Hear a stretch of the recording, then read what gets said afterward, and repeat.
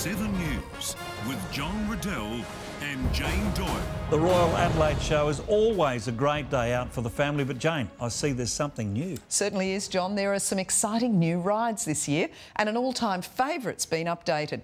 Let's cross now to our amateur correspondent at the show. Thanks, Jane. The Royal Adelaide Show is always a favourite with ride fans.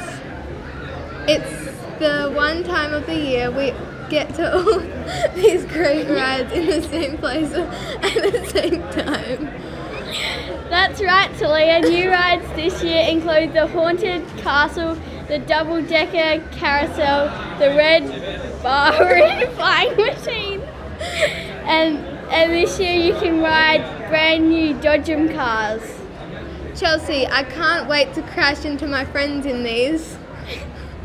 Don't forget all your sh- your show favourites will be back. So you can warm up on the classics before trying out the new attractions. Watch Adelaide 7 News every night at 6 for more show news.